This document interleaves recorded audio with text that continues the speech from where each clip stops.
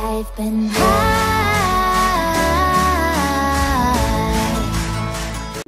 Ada yang baru masuk siapa tuh? Akmal, on Kemal.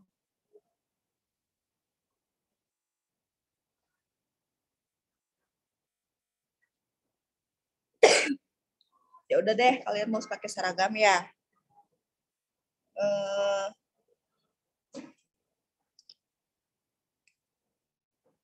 Sharlin, Sharlin kelas kalian bukan?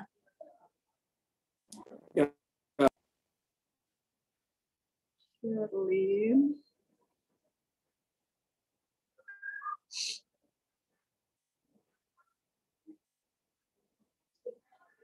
Izin aja deh.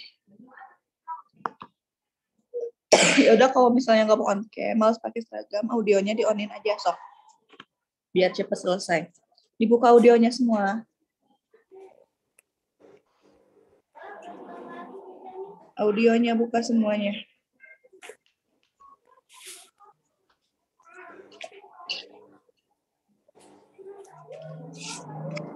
ke buku bahasa Indonesianya dibuka ya. Materi terakhir sama bulan tentang apa? Udah masuk ke cerpen belum? Udah, Bu. Udah. Udah. Udah dijelaskan sampai mana? Coba bukunya lihat. Sampai struktur. Sampai struktur. Yang unsur-unsur udah? Udah nyampe unsur-unsur belum? Belum, Bu, baru sampai struktur. Oke. Apa? Coba. Cerpen teh apa? Apa coba cerpen itu?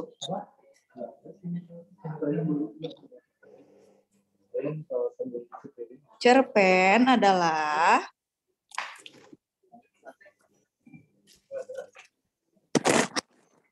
Ayo jawab dong. Karya sastra dalam bentuk tulisan. Terus? Masih ada? Yang mengisahkan tentang sebuah cerita fiksi yang dikemas secara singkat, jelas, dan ringkas. Oke. Terus biasanya kalau cerpen itu mengisahkan tentang apa sih?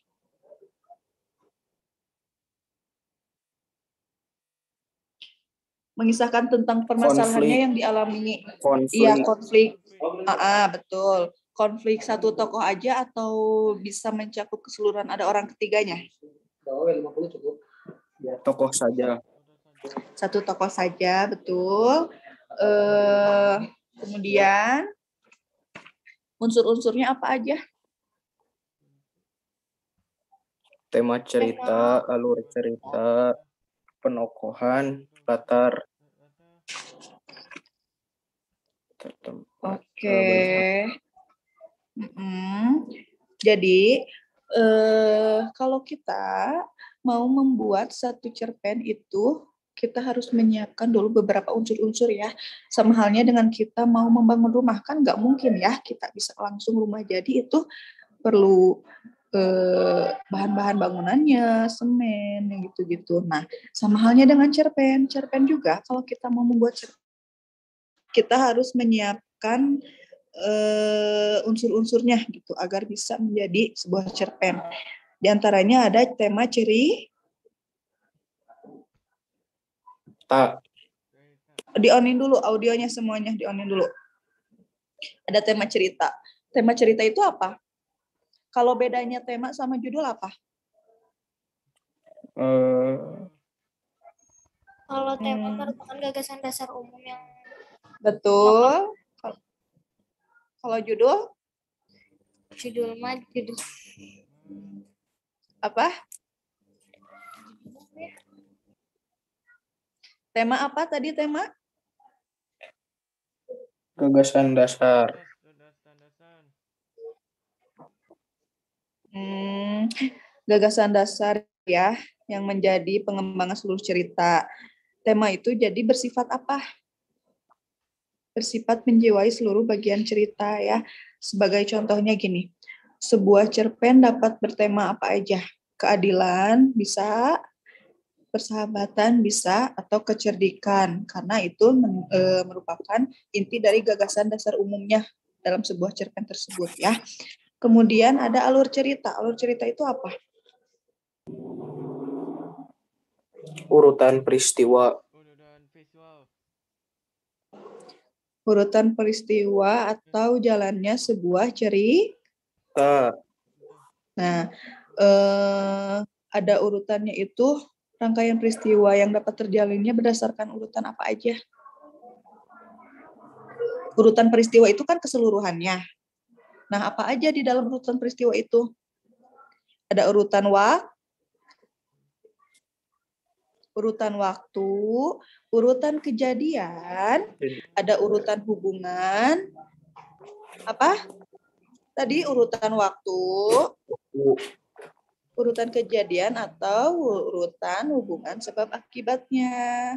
Nah, ada juga jalinan berbagai peristiwa ya, baik secara lurus maupun secara sebab akibat. Gitu, itu alur cerita. Jadi intinya itu jalan dari sebuah cerita tersebut. Itu disebut A. Lur. Kemudian kalau penokohan itu apa? Penggambaran. Jelas tentang watak tokoh. Apa? Penggambaran. Tentang watak tokoh. Penokohan itu orang-orang yang ditampilkan dalam suatu karya naratif. Jadi eh, orang yang dicantumkan dalam cerita tersebut dalam secerpen itu, gitu ya. Ngerti? Di. Di dalamnya, di dalam penokohan itu bisa ada apa aja? Watak betul tadi watak, watak sifat. Nah itu masuk ke dalam penokohan ya. Kemudian latar itu apa latar? Penempatan waktu dan tempat.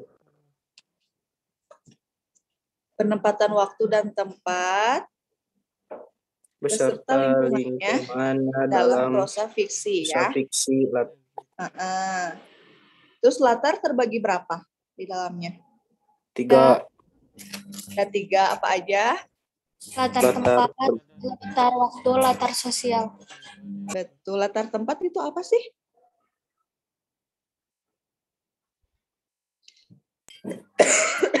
latar tempatnya apa? Kejadian. tentang tempat. Latar tempat itu ya lebih tepatnya lokasi terjadinya peristiwa yang diceritakan dalam karya fiksi atau dalam cerpen tersebut ya. Kemudian latar waktu apa? Kayak siang, malam, Bu. kayak siang malam. Berhubungan dengan masalah kapan kalau latar waktu itu ya, menunjukkan waktu terjadinya peristiwa-peristiwa yang diceritakan dalam cerpen tersebut.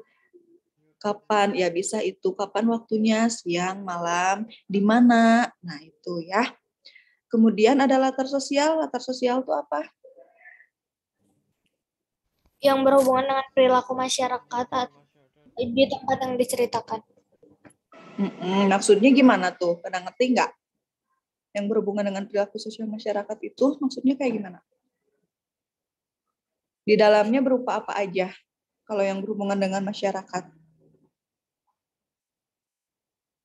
Ada kebiasaan hi, Duh. Ada apa lagi? Adat Eh, istiadat, Dat. tradi, keyakinan, ada pandangan hidup, dan cara berpikir dan bers- bersikap ya. Selain itu juga latar sosial berhubungan eh, dengan status sosial tokoh yang bersangkutannya gitu.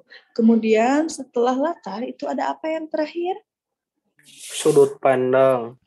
Sudut pandang. Nah, sudut pandang itu apa sih?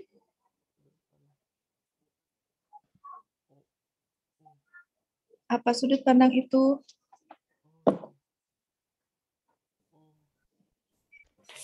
Eh, Sudut pandang itu cara penulis memandang tokoh-tokoh ceritanya dengan menempatkan dirinya. Kenapa itu diketik, Akmal? Ngomong aja. Dengan menempatkan dirinya itu pada posisi tertentu, ya. Oh, mic-nya rusak. Oke, Akmal. Maksudnya kayak gimana sih cara penulis eh, memandang tokoh-tokoh cerita dengan menempatkan dirinya pada posisi tertentu itu maksudnya kayak gimana coba? Contohnya. Ada yang tahu? Gimana coba? Contohnya itu eh, misalnya penulis itu menempatkan diri pada posisi orang ketiga jadi, misalnya kalian itu menempatkan diri pada posisi orang ketiga. Nah, si orang ketiga itu menggunakan kata ganti dia atau orang pertama dengan menggunakan kata ganti pertama aku atau saya. Kalau orang ketiga itu kata gantinya itu adalah dia. Kalau orang pertama itu aku atau sa saya. Aku atau saya. Ngerti nggak maksudnya? Ngerti. Ngerti ya. Uh, kemudian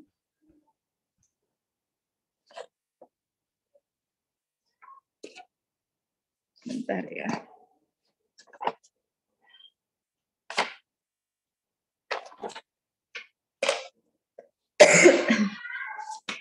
nah tadi ya.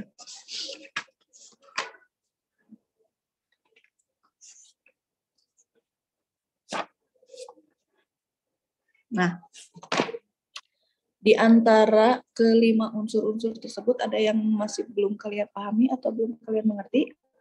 Ada nggak?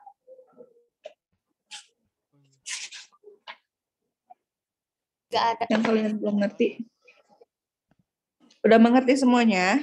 Udah mengerti. Uh, Ibu kasih latihan soal ya. Di sini ada ceritanya yang cerita tentang keadilan cerpen salam keadilan kalian udah tahu belum Belum. nanti ibu fotokan ya Oke, kalau udah mengerti, e, ibu kasih soal, nanti ibu fotokan soalnya ke grup. Nanti kalian tulis, lalu kirim ke ibu ya. Langsung ibu periksa dan ibu nilai. Kirim aja ke WA ibu ya, jangan di grup Siap. ya. Siap. Ngirimnya, tapi ngirimnya pakai nama dan kelas ya.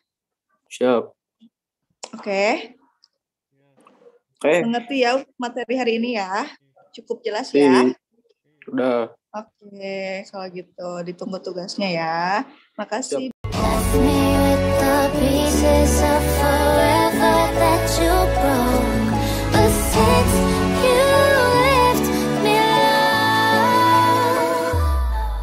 And.